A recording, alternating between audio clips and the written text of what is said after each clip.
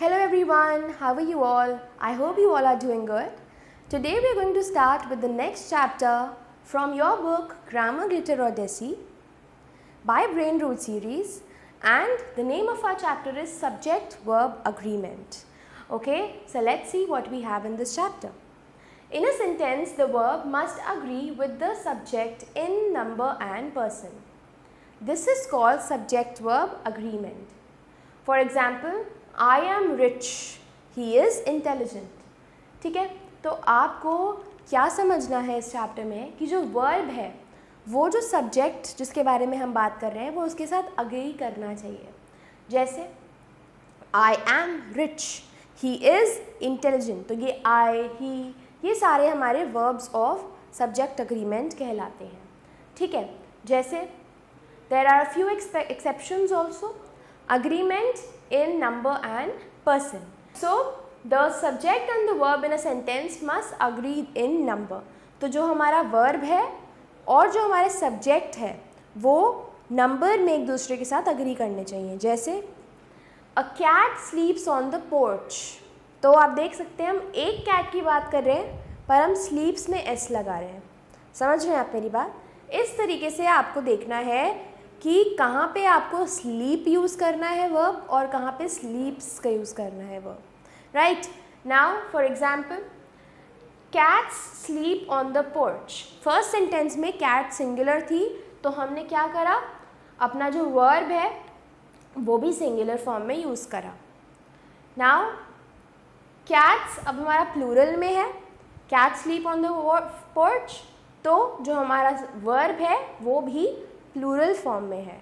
तो cats sleep on the porch now verbs must also agree with the subject in person I am well right I के साथ हमेशा M use होता है is are नहीं होता। आई इज़ आई आर हम नहीं बोलते। आई के साथ हमेशा एम यूज़ होता है। है the verb am agrees with the subject I तो जो हमारा एम हेल्पिंग वर्ब है, वो आई प्रोनाउन के साथ क्या कर रहा है? अग्री कर रहा है right the man who owns the village and the apartments in south Bangalore has called ठीक है? तो देखो इसके अंदर।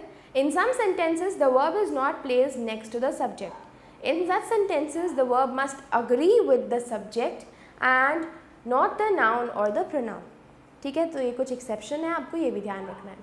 सेंटेंसेज स्टार्टिंग विद देर और here In most sentences the verb is placed after the subject. In sentences that begin with there, the subject is placed after the verb. ठीक है?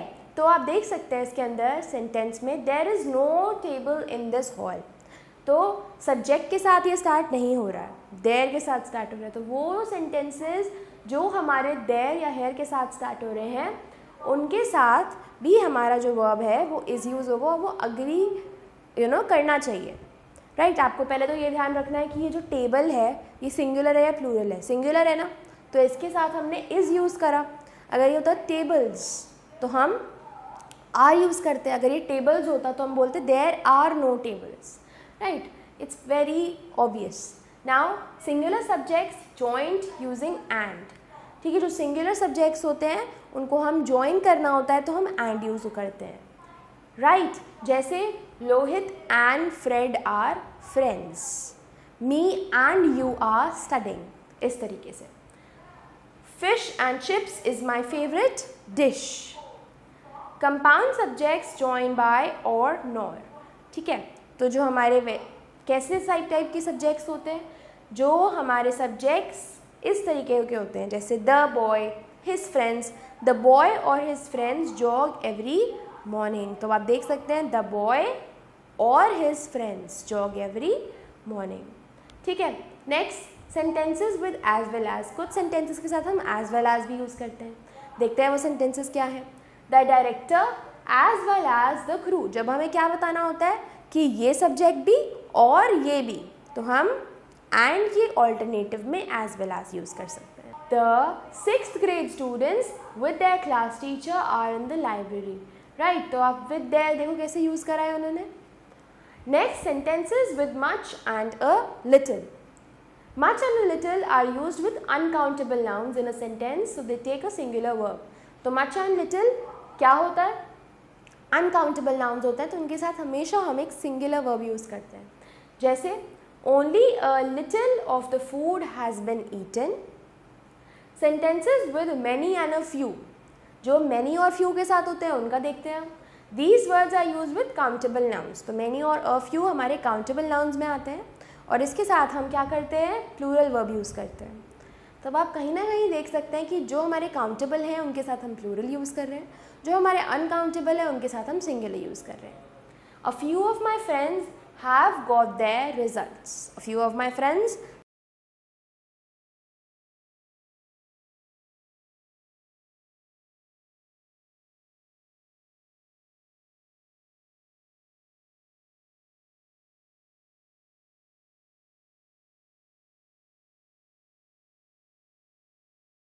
meaning क्या है? नाउन का। जैसे the group of members have been debating which song to sing ठीक है? So the group members they are debating कि कौन सा गाना गाना है। सो so, आप देख सकते हैं इस तरीके से हमने वर्ब को यूज़ करा है। Next is names with look plural जो हमारे नेम्स हैं जो प्लूरल जैसे लगते हैं। Right right? बट वो होते सिंगुलर हैं। उनके साथ हम क्या यूज़ करेंगे?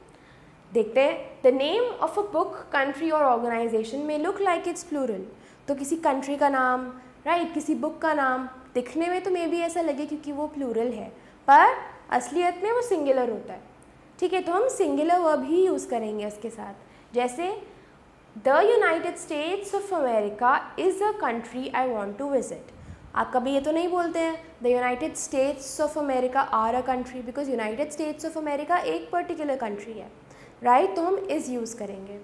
नेक्स्ट अ पेयर ऑफ़ के साथ क्या यूज़ होगा? A pair of shoes a pair of हमेशा एस यूज़ आप करेंगे जब भी आप एक पेयर की बात करेंगे। जैसे a pair of trousers a pair of scissors a pair of shoes a pair of trousers I have tell you this right a pair of spectacles इनके साथ हमेशा आप इज़ यूज़ करेंगे।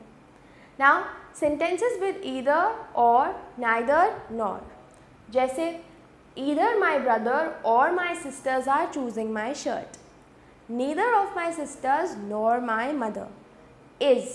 तो इनके साथ भी हमें सिंगुलर वर्ब ही यूज़ करना है। इधर और नाइदर नॉर के साथ सिंगुलर वर्ब ही यूज़ होगा। ऑल दीज रूल्स अगर आप बार बार पढ़ेंगे, तभी आपको ये ध्यान में रहेंगे। Because when you do the exercise आपको ये रूल्स बहुत ज़्यादा काम आएँगे। Right next sentences with each either neither every one everybody one of the one of the students has bought either colour is fine तो इन सारे वर्ड्स के साथ भी हम सिंगुलर वर्ब ही यूज़ करते हैं। Each of the children is required ठीक है? Now fractions take a plural verb in the reference to the number, but they take a singular verb if the reference is amount to quantity. जैसे two thirds of the clothes in the cupboard are mine fraction हुआ ना to third तो इसके साथ हमने क्या use करा? Are two thirds of the jug is am ठीक है? तो आपको ये भी देखना है कि वो बेसिकली काउंटेबल है या अनकाउंटेबल है। उस तरीके से हमें वर्क करना है। Now we have exercise let's try it we'll do four together and rest four you going to do in your homework okay so the first one only a little cake dash left over only a little cake is left over The crowd dashed going wild. The home team won the match. The crowd is या फिर are. Do you remember हमने collective nouns के साथ क्या पढ़ा था? Yes, is. So is will be your answer here. Third, a few of the books dash still available online. A few of the books are still available online. So are. Fourth, either song dash perfect for the dance. The song is perfect for the dance दोनों में से कोई भी ठीक है fifth one also will do last three will be a homework either Sushmita और the council is wrong या फिर are wrong is wrong yes perfect so now I think that you have learn this exercise and this chapter properly. So last three are your homework. Do try them yourself. Next, complete the sentences with the correct form of the verb She dash both English and Bengali she knows या फिर no she knows both English and Bengali K N O W S. You can dash either milk or juice. You can drink. Next, I can neither sing nor okay. So we can say sing is already written. तो हम क्या बोलेंगे? I can neither dance nor sing. Right? I would like to dash with both land animals and aquatic animals. I would like to read with right or you can say I want I would like to explore with तो आप कुछ भी लिख सकते हैं यहाँ पे I am writing explore The fifth one, let's see. This car dash neither fast nor comfortable. Now the fifth, sixth, seventh and eighth I'm giving you as your homework. Ninth one we'll do together. Hemant dashed for the station a while ago. Hemant left for the station a while ago. Okay. Now, do we have one more sentence? No, we just had nine sentences. Next is the C exercise. Com correct the errors in the passage given below and rewrite it in your notebook. So, we will discuss it here. I am not going to write for you, but you have to write it in your homework. You have to rewrite the passage. In Europe, there is two types of Santa Claus. No, इसको हटा के क्या आएगा R. तो I'm just going to write like this. इसको हटा के आएगा R.